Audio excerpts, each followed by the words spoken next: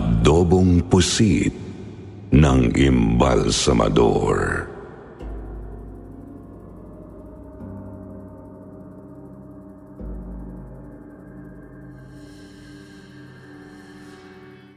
Sa buhay, marami talaga tayong kinatatakutan. Pero minsan, nagsisilbi pa itong daan para mas lalo tayong tumapang.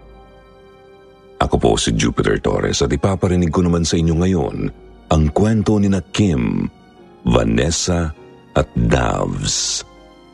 Unahin natin ang kay Davs at alamin natin kung saan nanggaling ang katapangan ng kanyang lolo.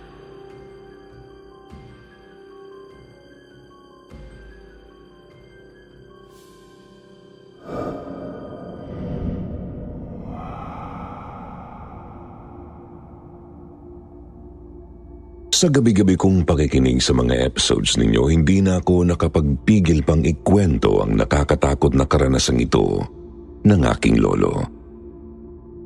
Ito po ang kwento niyang pinakahindi ko malilimutan dahil dito ko mas nakilala ang lolo ko.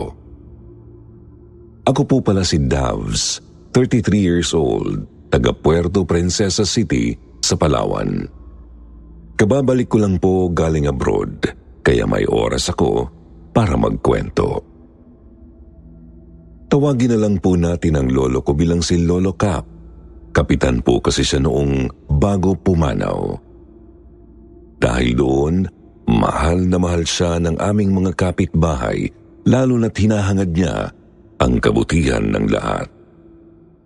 Ganun rin naman po kaming pamilya niya, kaya talagang proud na proud kami sa kanya. Nakakainis nga po minsan dahil imbis na mas makasama namin siya, inuuna niya ang paglilingkod sa barangay. Minsan umaabot pa sa punto na ikakapahamak na niya. Gaya noong nasa 14 anyos pa lamang ako.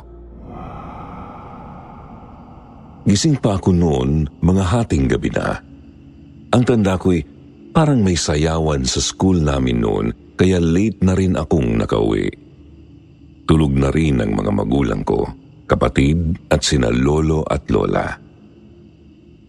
Ang pamilya po kasi namin ang nakatira sa bahay ni na lolo kaya kami lamang ang kasama nila sa bahay.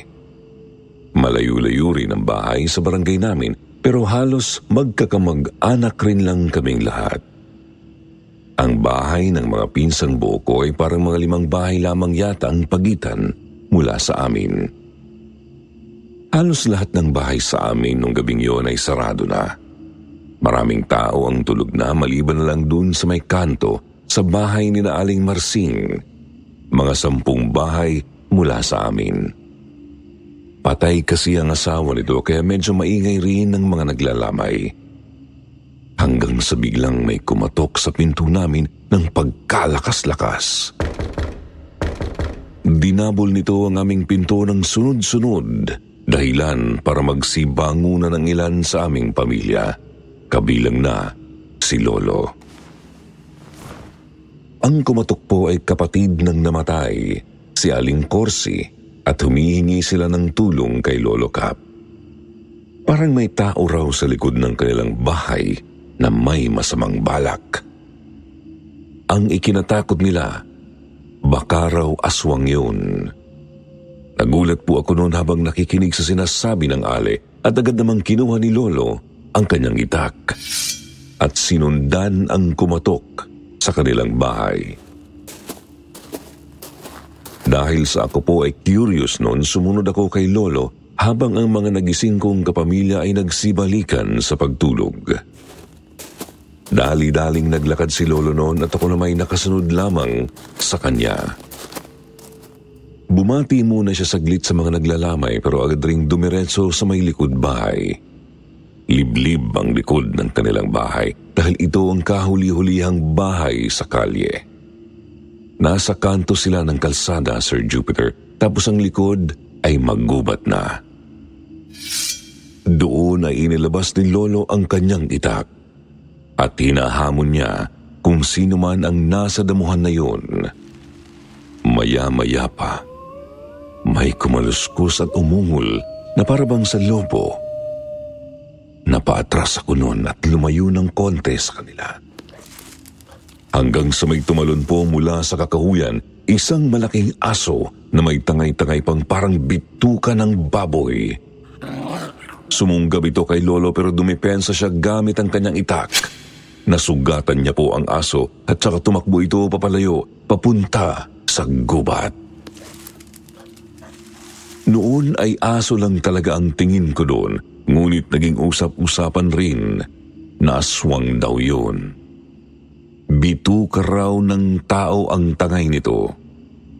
Ano paman ang inahangaan ko ay ang katapangan ni Lolo dahil first time kong makita siya ng harapan sa ganon. Karaniwan kasi sa kwento ko lang naririnig, kaya hindi ko masyadong ma-imagine noon. Kaya simula noon, mas humanga pa ako sa lolo cup ko. Masasabi kong ganun talaga siya, may malasakit sa kapwa at matapang. Sa bagay nung buhay pa si Lola, yun rin ang ipinagmamalaki niya sa kanyang asawa. Pero Meron pong karanasan si Lolo Cap na siya mismo ang nagkwento. Ito raw yung pagkakataon na pinagsisihan niyang hindi siya kumilos agad. Sinisisi niya ang kanyang sarili dahil hindi niya naipaghiganti ang kanyang kabarkada. At ito nga po ay tungkol sa aswang na balbal. Sa hindi po nakakaalam, ang balbal ay uri ng aswang na kumakain ng mga patay. Pwedeng yung nasa punerarya pa lamang o yung kakalibing pa lamang.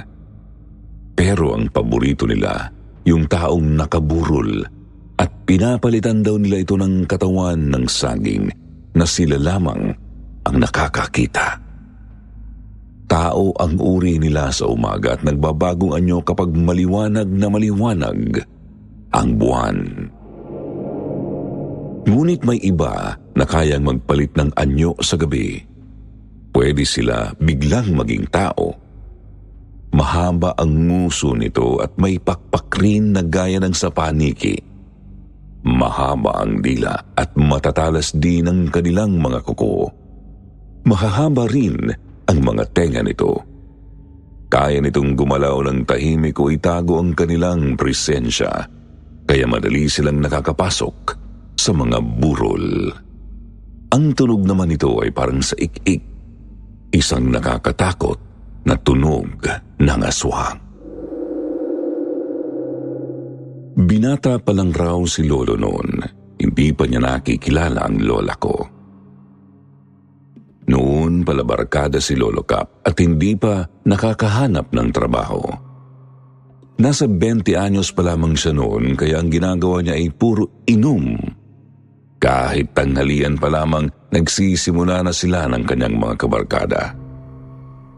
Ang mga kaibigan niya ay tagaroon lamang din sa barangay.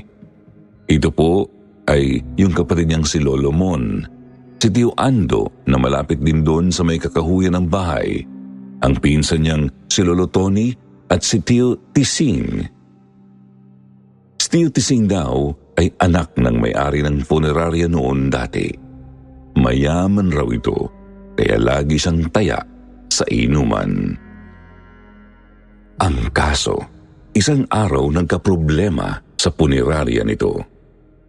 May nawala raw na bangkay na nasa punerarya at naruroon ang kaanak na iyak ng iyak. Inintindi muna ni Tio Tising ang kanilang business kaya wala munang inuman. Subalit wala silang makitang dahilan kung bakit nawala ang bangkay. Sumunod na araw, may isa na namang nawala. At naulit pa ito hanggang sa ikalimang araw. Doon, Nagkahinala na sila na baka may masamang loob na nagbebenta ng katawan ng tao. Nagpatawag rin sila ng pulis ngunit wala naman daw makitang ebidensya. Ang isip-isip naman ng mga matanda kina lolo noon, balbal yung salarin sa pagkawala ng mga bangkay. Kinabukasan parang naging normal bigla ang lahat. Wala raw pong nawalang bangkay, kaya medyo nanibago sila. Akala po nila baka nga masamang tao yun na tagaroon rin lang sa kanila. Kumbaga, baka nakaramdam na pinaghahanap na siya. Kasabay noon ay ang pagdating ng isang bagong tao sa barangay ni na Lolo Cap. Hindi ko na po sasabihin ang totoo niyang pangalan. Tawagin na lang natin siyang si Boyet. Taga-kurun daw po ito na pumunta sa syudad para mamasukan. Marunong itong maging balsamo. Sakto naman at naghahanap daw ng imbalsamador si Tio Tising noon. Dahil nga ang isa sa imbalsamador nila ay natakot na sa sunod-sunod na pagkawala ng mga bangkay, naging usapan ito ni na Lolo Cap sa kanilang inuman. Nagbiruan pa po sila na baka si Boyet ang salarin sa nangyayari sa kanilang lugar. Dito po ay hindi pa nila nakikita si Boyet, ngunit napagdesisyonan nilang kaibiganin din ito. Lumipas ang gabi at tanghali na naman kaya may inuman na naman sina Lolo Cap, Sir Jupiter. Normal na raw yun at habang nagiinuman ang limang magbabarkada, napadaan doon si Boyet kaya tinawag na rin nila. Tatanggi pa raw sana ito dahil maaga pa pero pinilit rin po ni na Lolo Cap. Mas maganda daw uminom ng maaga pa lang dahil baka may aswang daw sa gabi. Lalo na at bilog daw po ang buwan nung araw na yon. Sabi ni Lolo masaya naman daw pong kainuman si Boyet. Madali daw nila itong nakasundo dahil maingay rin ito. Sabi pa, may tribo po pala si Boyet na hindi ko na lamang babanggitin dito. Nag-iembalsa mo na daw siya dati sa kanila ngunit hindi ganun kalaki ang binibigay sa kanya ng mga punerarya doon. Noon po, sabi ni Lolo, kinwento pa raw nila tungkol sa pagkawala ng mga bangkay sa punerarya na papasukan niya. Si Tio Tising mismo ang nagbigay ng babala kay Boyet. Ngunit tumawa lamang ito at sinabing hindi raw siya natatakot sa kahit ano. Basta kumita ng pera. Sa oras na yon, hinangaan nila si Boyet at talagang bagay daw po siya sa kanilang barkadahan. Masaya pa po silang nagiinuman noon, nagkakwentuhan at nagtatawanan. Hanggang sa hindi nila napansing medyo gumagabi na, Sir Jupiter. Nagpapakita na ang buwan. Noong mga oras na yun, napansin ni Lolo Cap na tila ba kakaiba ang kinikilos ni Boyet. Wala pa raw siyang tama noon pero ang mga kabarkada niya ay lasing na. Siya lang po ang nakapansin na tila ba hindi mapakali sa isang tabi ang imbalsamador. Umiikot ang puwet nito sa kanyang kinauupuan. Panay rin ang lingon niya sa langit at kung saan-saan pa. Pinagpapawisan din daw ito na parang gamunggo ang patak at bakas din ang kaba sa mukha ni Boyet. Kinumusta naman ito ni Lolo at ang sagot daw sa kanya ay masama lang daw ang tiyan nito. Nang marinig ito ng lima nagsitawanan naman ang mga ito, biniro pa nga nilang mahina pala sa inuman si Boyet. Pagkatapos noon, nagpaalam na rin ang dayo na uuwi muna. Doon daw po ay nagpaalam rin si Lolo Cap ang hindi niya maintindihan. Nakita niyang biglang nawala si Boyet habang lumalakad palayo. Patungo sa direksyon kung nasaan ang punerarya. Napansin din niya di umano na parang sobrang haba ng mga kuko nito sa kamay at pa. Pinalagpas naman po ni Lolo Cap ang gabing yun. Ang isip-isip daw niya baka lasing din siya dahil sa Marami silang nainom. Kinabukasan, balik ulit sa inuman. sarado pa rin ang punerarya dahil iniimbestigahan pa ang tungkol sa nawawalang mga bangkay. At saka linggo rin noon. Habang nagkakasiyahan ang lima, dumating daw po bigla si Boyet.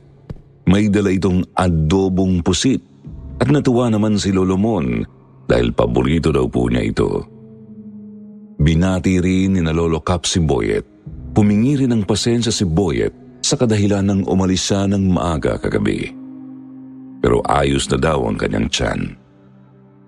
Nung papaupo na raw po sana ang imbalsamador, bigla naman silang may narinig na sigawan. Ito po pala ay ang nanay ni Tio Tising, may-ari ng punerarya. May nawawala na naman daw na bangkay. Natigilan ang lahat noon at nagsitakbuhan sila sa may lugar. Kasama po nila si Boyet noon. Nang pasukin nila ang loob ng punerarya, may isang lalagyan ng bangkay na wala nang ang laman. Ang matindi rito, may masangsang na amoy at may mga bakas din ng dugo. Doon na pag-isip-isip ni na Lolo Cap na hindi talaga tao ang may kagagawan noon. Habang silang lahat ay kinakabahan na, si Boyet daw po ay tahimik lang sa labas na parang walang pakialam. Ang ipinagtataka ni Lolo noon, bakit daw hindi kinakabahan si Boyet? Isa yung papasok na imbalsamador. May ibang pakiramdam na si Lolo Cap noon, ngunit hindi niya ito inintindi masyado. Hindi natuloy ang inuman nila nung araw na yun. Hindi rin nagalaw ang adobong pusit ng imbalsamador. Nagsiuwian na lamang ang magbabarkada dahil sa kanilang pangamba. Kinabukasan, lunes, may pasok po nun si Lolo Mon, Tio Ando at Lolo Tony sa construction. Kaya naman, walang inuman. Binuksan na rin ang punerarya para raw may nagbabantay dito. Nalulugi na rin daw po kasi sila Tio Tising noon ayon kay Lolo Cap. Sa kabila ng pagkawala ng mga bangkay, hindi na nila yun inisip. Simula naman nung pumasok na imbalsamador si Boyet, natigil na rin naman ang pagkawala ng mga bangkay. Naisip pa daw po ni Lolo Capno na si Boyet ang nagdala ng swerte kina Tio Tising. Doon ay nawala rin ang kanyang pagdududa. Paminsan-minsan nagiinuman pa rin sila. At kahit na nasa punerarya si Boyet, lumalabas naman ito para sa kanyang tagay. Madalas rin daw na nagbibigay ng pulutan si Boyet kahit na hindi talaga ito iinom. At ito nga ay yung adobong pusit na gustong gusto nga raw po ni Lolomon. Ang lambot daw kasi ng pusit at kakaiba raw ang lasa. May tamang anghang at malinamnam din daw. Ang kapansin-pansin pa rito, medyo maitim ang kulay nito na parang namuong dugo. Isang araw natigil ang inuman dahil nagkasakit si Tio Ando. Ang kabarkada nilang malayo-layo pa ang bahay. Isinugod ito sa ospital noong gabing kagagaling lamang sa trabaho. Na high blood daw po, Sir Jupiter. Nag-alala noon si Lolo Cap. Pinagalitan rin daw sila ng kani-kanilang mga nanay. Si Tio Ando naman unti-unti raw pong nanghina at kalaunan ay namatay rin ito. Medyo naiiyak pang sinasabi ni Lolo Cap ang eksenang ito dahil nga ito pala yung panahon na nawala ang isa sa malapit niyang kaibigan. Noong ito ay binuburol, hindi umaabsent ang mga kabarkada ni Tio Ando. Lagi raw pong nandoon si Lolo Cap, umiinom sa umaga hanggang gabi. Sumasama naman sa kanila si Boyet noon, ngunit ang pinagtataka nila, umaalis din ito tuwing gabi. Lagi siyang hindi napapakali kapag madilim na. At noong pinaglalamayan daw po si Tio Ando, may mga kaluskos na naririnig malapit sa kakahuyan. May tunog rin na gaya ng sa ik-ik. Ang mga tao raw po noon talagang nag-iingay para hindi malapitan ng kung anumang nasa kakahuyan. Naniniwala po silang balbal yun na balak kainin si Tio Ando. Sina Lolo Cap noon walang pakialam at dahil lasing sila, hinahamon pa nilang magpakita ang balbal. Papatayin daw po nila ang balbal.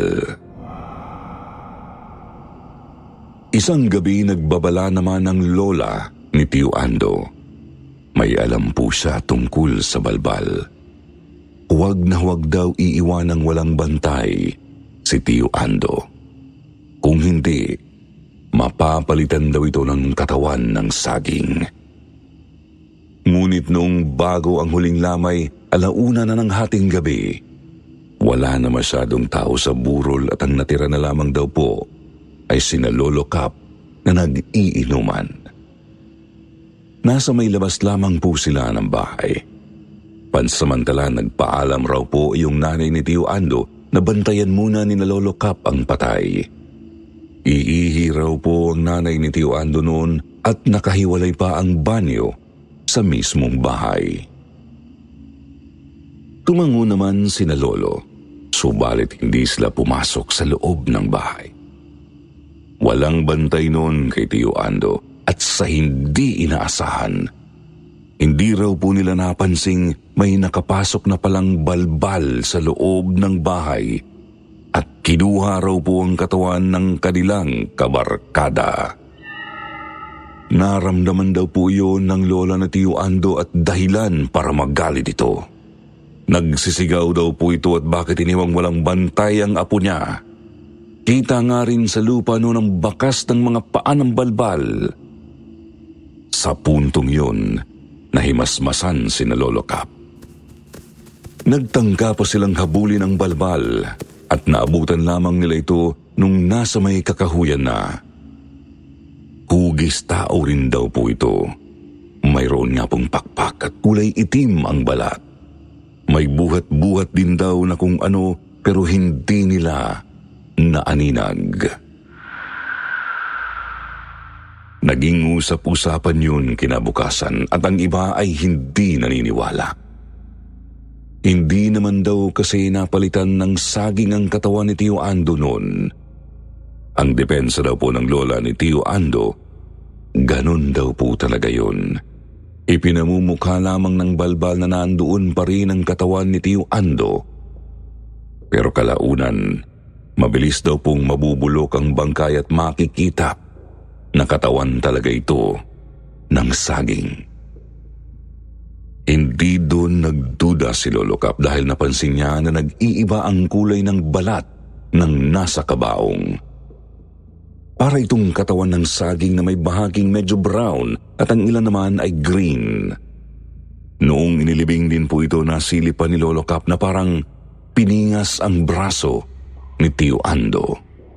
Parang katawan ng saging na nabulok ang gilid na bahagi ng katawan.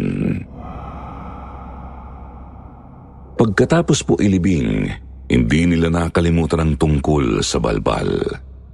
Nagkaroon sila ng hinala na ang kumukuha rin ng mga bangkay sa punerarya ay yung mismong balbal na yun. Dalawang gabi matapos ang libing ni Tio Ando, Nautusan daw po noon si Tio Tising. Sinamahan po ito ni Lolo Cap na tingnan ng funeraria dahil baka hindi raw ito nakandado ni Boyet ng maayos. Pasado alas 10 ng gabi na noon, nagpasama raw po talaga si Tio Tising dahil takot ito. Baka kako, may balbal. Nang makarating sila sa puniraria, Napansin agad nilang bukas ang gate nito. May mabahong amoy rin na nanggagaling sa loob. Kinabahan na raw po ang dalawa. Nagdalawang isip sila kung papasok pa dahil may tunog rin na parang kumakain na nanggagaling sa loob. Pero dahil matapang si Lolo Cap, naglakas loob siyang tingnan ang nasa loob at nasa likod lamang niya si Tio Tising. Pagkapasok ni Lolo, nabigla agad siya sa kanyang nakita at hindi nakapagsalita. Si Tio naman binati ang nasa loob at ito pala ay si Boyet. May inaayos daw po ito sa punerarya at siya na lamang ang magsasara nito. Dahil doon, nagyaya na si Tio Tising pauwi. Sumunod naman si Lolo Cap at tahimik pa rin daw po siya noon. Pagkarating nila sa bahay ni Tio Tising, doon ikinuwento ni Lolo Cap ang kanyang nakita. Nakita raw niyang may kapit-kapit sa likod si Boyet. Mula sa kamay nito, may pumapatak rin na maraming dugo. Gulo-gulo rin daw po ang buhok ni Boyet. At nakita rin ni Lolo Cap ang mahahabang kuko nito. Ang kaso, hindi po siya pinaniwalaan ni Tio Tising dahil malabo raw na balbal si Boyet. Kinabukasan nag-aya ng inuman si Lolo Cap. Hindi pa rin daw kasi nila matanggap noon na wala na si Tio Ando. Kaya idinaan na lamang nila sa inuman. Hindi na muna po kinuwento ni Lolo Cap sa ibang kabarkada niya ang nakita niya kagabi. At doon, bigla rin namang dumating si Boyet. Wala itong gagawin sa punerarya. Umupo muna ito saglit doon at may dala rin siyang adobong pusit. Nung oras na yon nakiramdam lang si Lolo Cap. Hindi siya kumain ng dalang pulutan ni Boyet. Napansin rin niyang puro buhok ito at nakakadiri ang itsura. Iba sa nakita niya noon. At nang tusukin daw ni Boyet ang parang bilog na mula sa pulutan, akala ni Lolo Cap ay bahagi ito ng pusit pero nakita niyang mata pala ito ng tao. Magsasalita na po sana si Lolo noon ngunit laking pagtataka niya nang mapakurap siya at mapatingin ulit sa pagkain. Pangkaraniwang adobong pusit na kasi ito. Wala na ang mga nakita niyang kakaiba. Wala na yung mabuhok na bahagi at wala na rin ang mata ng tao. Kaya naman nanahimik na lang ulit si Lolo bagamat hindi sa kumain sa adobong yun. Noong gabi na, nagpaalam na si Boyet. Sa puntong yun, kinuwento ni Lolo Cap ang kanyang nakita sa punerarya at ang meron sa adobong pusit. Napagdesisyon na nilang puntahan ang bahay ni Boyet para malaman ang katotohanan. Dumating sila sa bahay nito at wala doon si Boyet. Subalit bukas ang pinto, kaya pumasok sila dito. Sir Jupiter ang sumalubong daw po sa kadila ay mapaho at malansang amoy. Maraming buhok rin daw po ang nakakalat sa sahig ng bahay ni Boyet. At sa may bandang kusina, may kawaling nakapatong sa lutuan. Ang laman nito ay ulam na adobo. Pero ang sahog po, parte ng ulo ng tao. At sa isang parang kahon, binuklat nila ito at natuklasang puno ito ng mga putol-putol na katawan ng tao. Wala silang nagawa nun kundi maduwal at kumaripas palabas ng bahay ni Boyet. Nagsiuwian sila at hindi lumabas ng isang buong araw. Pero noong pasyam ni Tio Ando, nagsama-sama ulit sila. Doon po nila ikinuwento sa lola ni Tio Ando ang nangyari. Isinumbong nila ang tungkol kay Boyet at agad silang sinabihan ng matanda tungkol sa kung paano ito mapapaslang. At nung gagawin na sana nila ang plano, saka na lang nila nalaman na umalis na si Boyet. Nagtungo sila sa bahay nito at wala silang naabutan doon. Malaki po talaga ang pagsisisi nila noon. Magmula noon, lagi nang kumikilos agad si Lolo. Doon ko rin po nalaman kung bakit ganun ang ugali niya. Walang kinatatakutan at handang tumulong agad kung kinakailangan. Mabuti na rin daw na nalaman nila yung tungkol kay Boyet. Dahil kung hindi, baka mas marami pa itong mabiktima. At simula rin po noon hindi na kumakain ang magbabarkada ng adobong pusit o kahit anong putahe ng pusit. Kaya rin po siguro hindi kami nag-uulam ng ganun dito sa bahay. Pero napaisip ako bigla, Sir Jupiter. Kung gayon, buhay pa po kaya si Boyet? Sana naman na hindi na dahil ayaw kong mabiktima ng balbal. Kayo po ba, mga manonood? Ano sa tingin ninyo?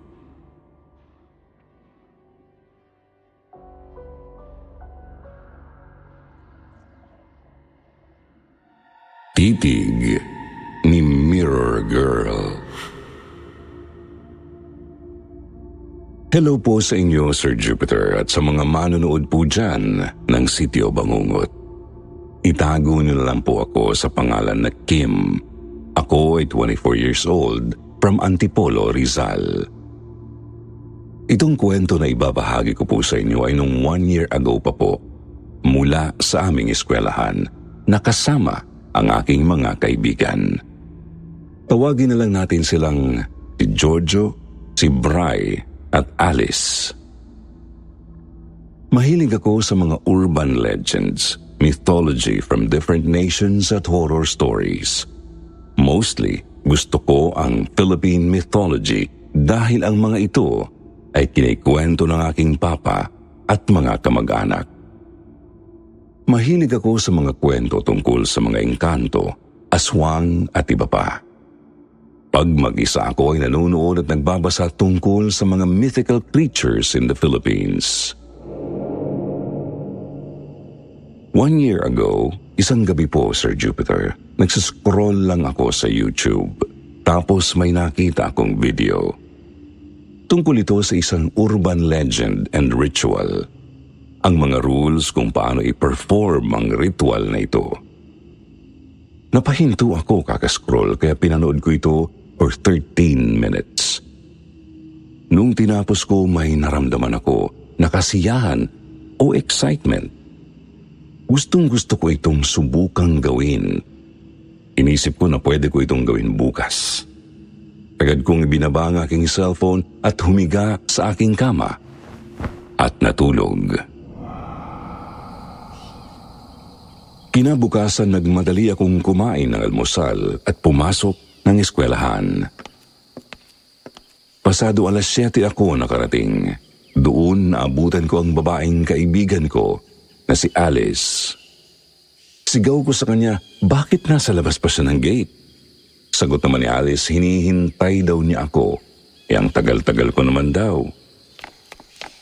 Sinalubong ko siya noon habang hingal na hingal pa kakatakbo. Sabay kami naglakad papunta sa classroom namin. Nag-aabang na doon si Bry, ang kaibigan ko mula noong unang baitang pa lang. Banggit niya nang may pag-aalala. Huwag raw akong magmadali dahil 7.20 pa lang naman daw.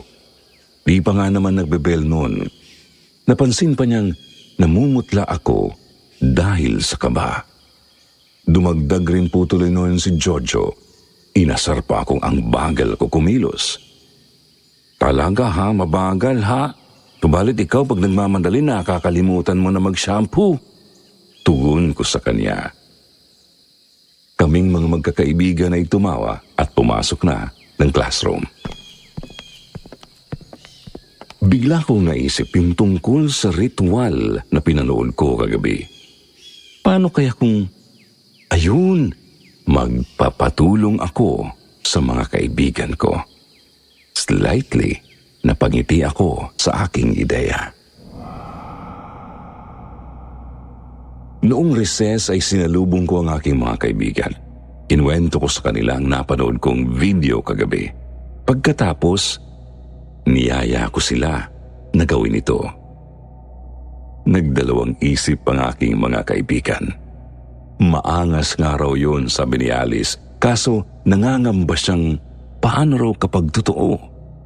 Si Brian naman inasar si Alice na masyadong nagpapaniwala sa mga ganon. Tanong pa niya kung para sa project ko raw ba ito. Sumagot naman po ako na hindi dahil trip ko lang talaga. Sumabat rin agad si Jojo na bakit hindi ko raw gawin mag-isa. Tutal ako raw ang may gusto. Bakit daw idadamay ko pa sila? Napikon ako noon. Pero binilit ko pa rin sila. Kasi kailangan ko ng tulong nila nung time na yun. Nagtinginan sila Alice at Jojo. Tumingin sila sa isa't isa habang kinakabahan. Biglang nagsalita si Bry na may ngiti sa kanyang mukha. Game na. Excited po si Brian na gawin yung ritual. Pinaliwanag ko na po iyon sa kanila ng pabulong. Sabi ko kailangan namin ng walong kandila at isang bagay ay papatong sa lababo. Laruan para masomon ang multo ng kasiyahan. Limang piso para masomon ang multo ng kayamanan at iba pa na pwedeng gumana.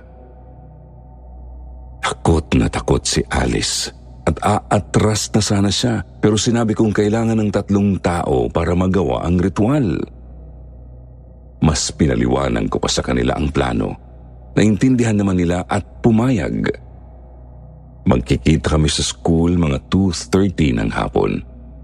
Pero hindi ko alam noon kung papayag si Kuya Jovi ang guard namin. Noong uwian ay bumili ako ng walong kandila. Kinabahan rin ako na baka maghinala ang cashier kung bakit marami akong dala. Pero good thing, di niya napansin. Mga 2.30pm, ako ay nagmadali papunta sa eskwelahan. Daladala ko ang mga gamit na kailangan namin para sa ritual at handa ko nang gawin ito. Pinayagan ng guard namin na magstay muna sa bakuran. Hindi niya alam kung ano ang gagawin namin doon hanggang sa nasalubong ko sila Bry, Jojo at Alice.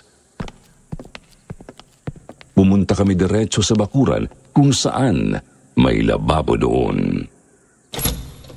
Nang binuksan namin ang gate ng bakuran, lumakad ako patungo ng lababo at nagpatong ng laruan na manika. Tumaas ang isang kilay ni Alice, patraw manika pa talaga. Tumingin ako sa kanya at hindi sumagot. Nag-focus lang ako sa paghahanda ng mga gamit para sa ritual. Inanda ko ang mga kandila at pinuwesto ko ang mga ito paikot ng lababo. Pagkatapos ko ako'y lumuhod at niyaya ang aking mga kaibigan na lumuhod rin. Nung lumuhod sila, nagsalita si Jojo. Oh, Ats, ano ito? Anong ginagawa natin? Gagawin na natin ang ritual. Sinabi ko habang nakapikit ang aking mata. Ganito po kasi ang ritual. Dapat magdadasal kami tungkol sa kung ano ang mga gusto at hiling sa buhay namin for five minutes. Pagkatapos magdasal, hihipan ang isang kandila. Isa lang. Pagkatapos magsasabi ng tatlong beses ng pangalan ng isang kakamatay pa lang. Pero huwag sasabihin ang pangalan mo kahit bilang biro lamang. Pagkatapos ay dapat ihipan ang tatlong kandila. Isang tao ay dapat tatayo at umikot ng tatlong beses. Kasunod noon ay hihipan naman ang tatlo pang mga kandila. Nakalimutan ko sabihin na kailangan mo ng gunting para dito. Last step is kunin ang bagay na nakapatong sa lababo at ibulong ang hinihiling mo sa buhay.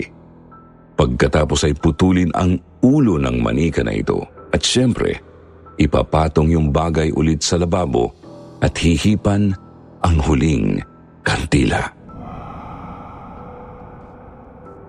Ginawa ko yung lahat tapos bigla akong may naramdaman na bigat sa aking damdamin. Pero hindi naman ako natakot. Inisip kong parang magaan lang ang aking damdamin. Binukas ko ulit ang aking mga mata. Tanong ni Bray ano raw ang nangyari.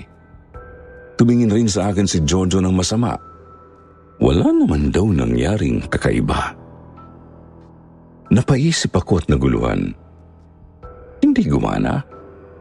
Kung ganun, baka siguro hindi nga totoo ang ritual na yun. Napahiya tuloy ako na sinayang ko lang ang oras ng mga kaibigan ko. Lumapit ako sa lababo at tumingin sa salamin. Bigla akong may nakita na isang maputla na babae. Madumi ang bestida at buhaghag ang itim niyang buhok. May dumi at dugo ang mukha niya at nakatitig sa akin. Nagulat ako at napasigaw at muntik na akong mahulog patalikod. Nagulat sa akin si Alice at tinanong niya ako ng may pagtataka. Ano raw ba ang nangyayari sa akin? Hindi ako nakapagsalita hanggang sa bigla na lang parang papalapit yung babae sa akin. Tinititigan lang ako at naramdaman ko, Sir Jupiter. Tumayo ang aking mga balahibo at doon pa lang ay tumakbo na ako dahilan para sumunod ang mga kaibigan ko. Hindi ko alam kung tama ba ang nakikita ko o baka namamalikmata lamang ako. Hindi ako lumingon. Nagpatuloy lang ako sa pagtakbo pa uwi. Ang babae na nakita ko ay namatay noong isang linggo na nakita ko sa news. Hindi ko alam kung sino ang pumatay o kung bakit siya namatay. Pinabayaan ko lang. Pagdating sa bahay agad akong umakyat sa kwarto at hindi muna nagbihis. Kasi natatakot ako sa itsura na nakita ko sa salamin. Napapikit ako at doon ako nakatulog. Hindi ko alam kung nakauwi na rin ba ang mga kaibigan ko. Mga ilang araw ay mukhang normal naman. Parang wala ang nangyari those past days. Hindi ko pa rin po sinabi sa mga kaibigan ko para hindi sila matakot. Hanggang sa ilang araw ang lumipas, palagi po akong nananaginip ng kakaiba. Palagi akong may nararamdaman na paranormal activities na nasa paligid o presensya ko. May nakikita rin akong mga malalaki, matatangkad at itim na figures kahit saan ako pumupunta. Tapos pag tumitingin sa reflection ko, mostly nakikita ko ulit ang babae. Mahaba ang buhok niya. Palaging tumitingin sa akin na walang emosyon. Nakikita ko siya minsan nakasilip sa cabinet, sa pinto at sa mga gap ng bahay namin. Para akong nalulutang at nababaliw.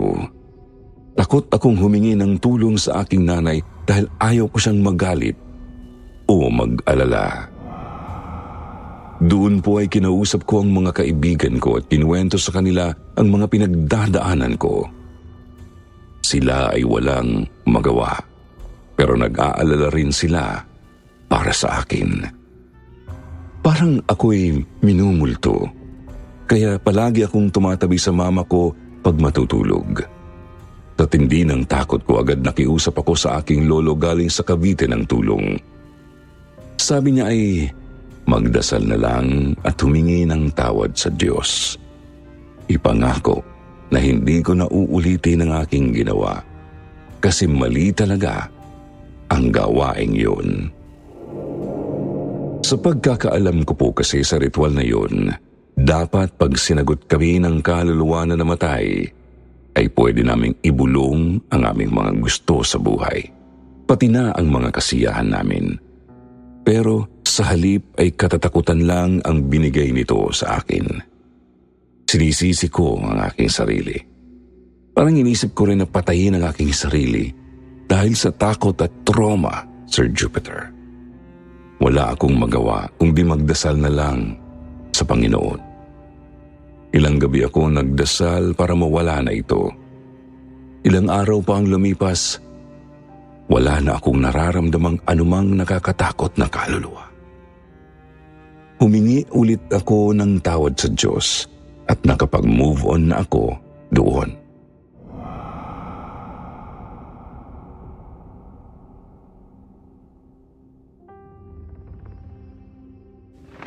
Malakidlat na sundo ni Lolo. Hello po sa inyo, Sir Jupiter, at sa lahat po ng mga nakikinig sa mga kwento nyo dito sa Sitio Bangungot Channel. Nalaman ko itong channel nyo sa pamamagitan ng isang katrabaho ko po. At since then, nahook na po ako sa pakikinig sa inyong mga channels. Sa katunayan nga pati mama ko ay nakikinig na rin sa mga kwento nyo, lalo na pag kayo na ho ang narrator. Thank you po. Sir Jupiter, tawagin nyo na lang po ako sa pangalang Vanessa. 37 years old, kasalukuyang nakatira dito sa isang probinsya sa Cebu. Ang kwentong ibabahagi ko po ay isang karanasang kababalaghan na akala ko ay hindi mangyayari sa akin.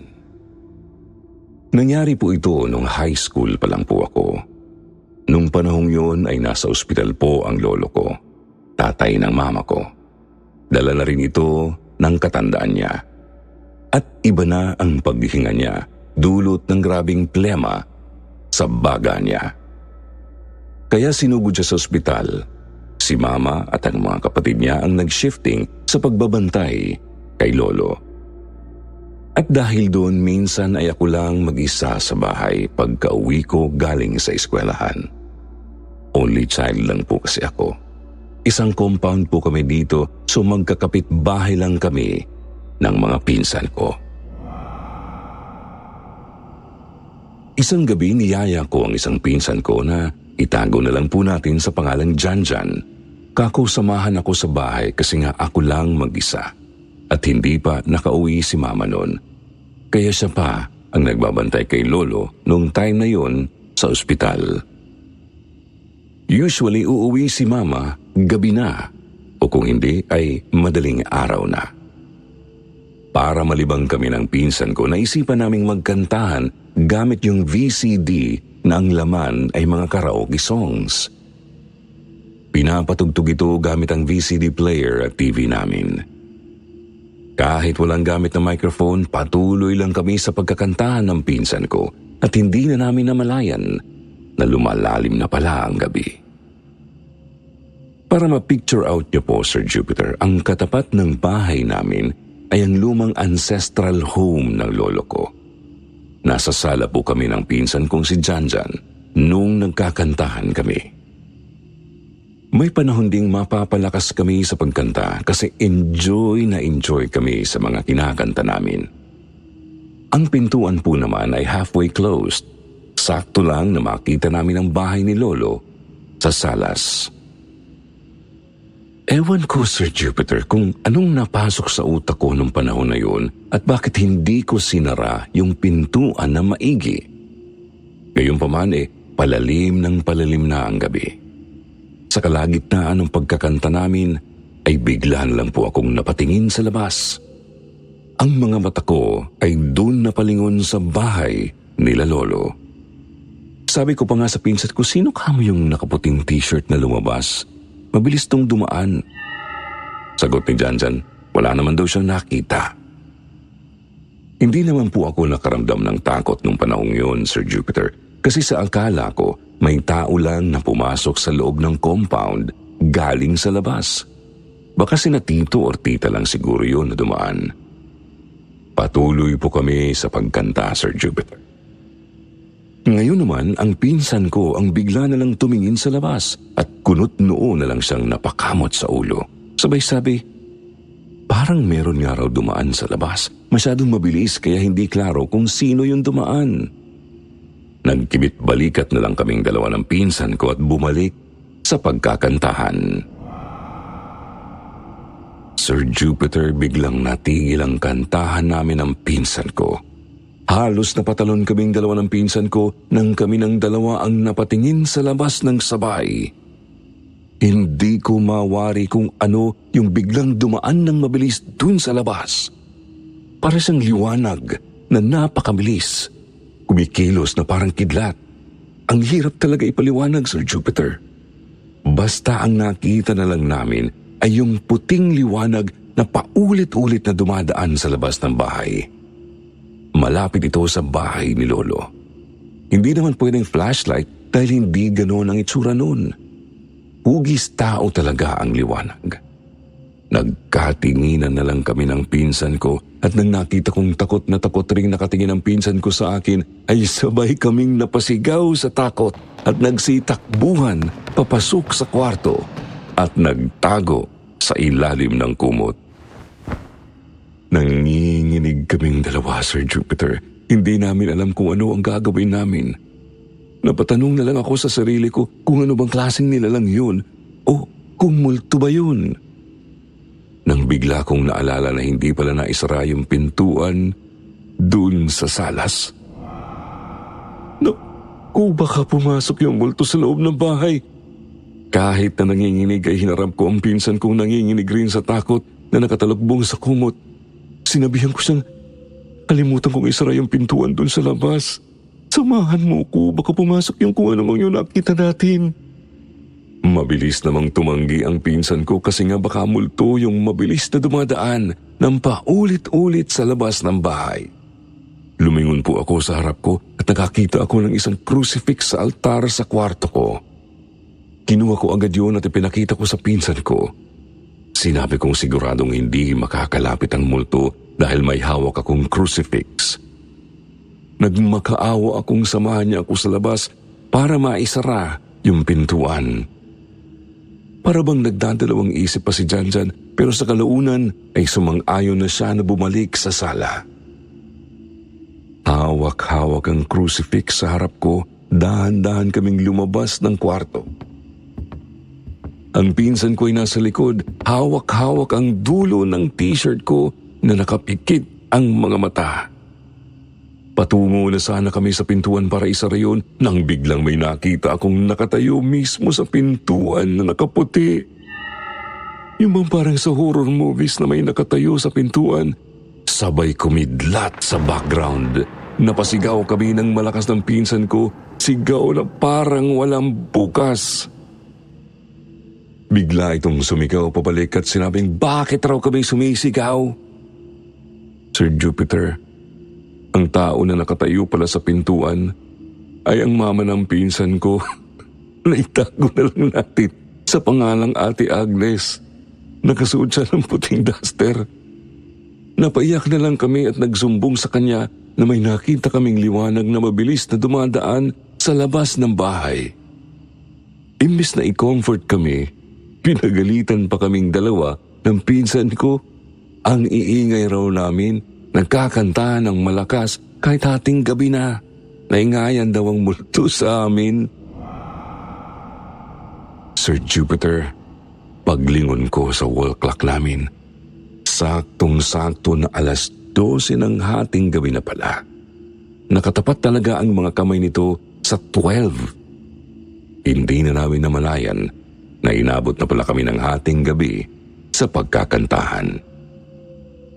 Tinanong namin si Ate Agnes kung dumaan ba siya kanina sa labas ng bahay. Sabi niya, hindi raw. Ngayon lang siya dumaan kasi nagtaka siya kung bakit hindi pa rin umuuwi si Janjan. Papauwiin na sana niya ang pinsan ko pero nagmakaawa ako kay Ate Agnes na kung pwede, samahan muna ako ni Janjan. Kasi ako lang mag-isa sa bahay. Hindi pa rin kasi dumarating si Mama noon. Nagpasalamat naman ako at naintindihan ni ate. Binigyan nga rin niya ng susi ang pinsan ko para sa bahay nila. Ilalak na daw kasi niya yung pintuan nila. Mga quarter to 1 a.m. na yata nang dumating si mama galing sa ospital. Kinuwento namin sa kanya kung ano ang nangyari kanina. Hindi kasi naniniwala si mama sa mga multo o kung anumang kababalanghan at sinabihan lang kaming baka imagination lang daw namin yon. Eh paano naging imagination yun? Eh kami ang dalawa ni Janjan ang nakakita. Nung umagang yon, Sir Jupiter, nabalitaan na lang namin na malala na raw ang kondisyon ng lolo namin sa ospital. Kailangan na naming puntahan siya doon. Ilang oras lang ang lumipas, tuluyan na ngang binawian ng buhay ang lolo namin. May tanong lang po ako sa inyo, Sir Jupiter, at sa mga nakikinig po ngayon. Ano kaya yung nakita namin ng pinsan ko? Ang sabi ng mga tao dito sa amin, baka daw sundo ng lolo ko. Kasi nga nag-aagaw buhay na pala siya nung panahong dumadaan yung napakabilis na liwanag sa labas ng bahay namin. Hanggang dito na lang po ang kwento ng kamabalaghan na naranasan ko at ng pinsan ko. Sana po nagustuhan nyo ang kwentong ito. More power to KT, Sityo Bangungot at Sityo Pangil. God bless everyone.